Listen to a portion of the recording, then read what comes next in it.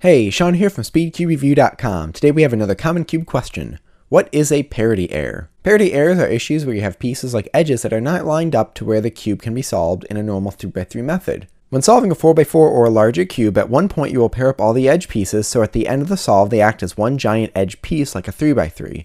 You can run into situations that do not normally occur on a 3x3 and have to do an algorithm to realign specific pieces. For example, if you are solving CFOP or Fridrich method during the OLL stage, you will either have no edges flipped, two of them, or four of them. If you have a parity error on a 4x4, you can have one or three of them oriented correctly.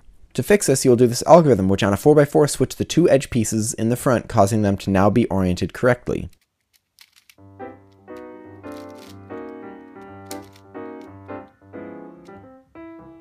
Thank you.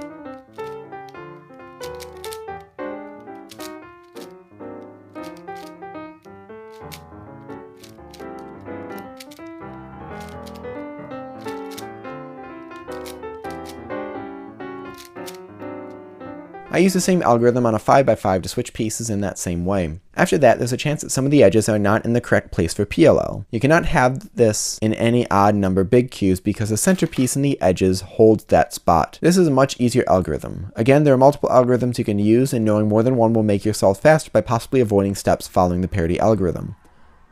This one switches the edges that are opposite each other.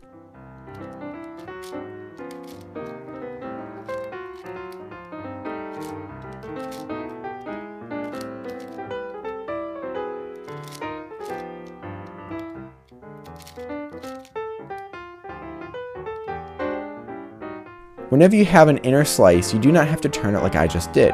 You can just turn two faces 180 degrees, followed by the outer face another 180 degrees. I will often do this just because it's a little bit safer and usually faster to execute. Thank you for watching. Please leave your thoughts and questions in the comment section below. Please like and subscribe for more videos in the future like this, and as always, stop by speedcubereview.com for more news and reviews.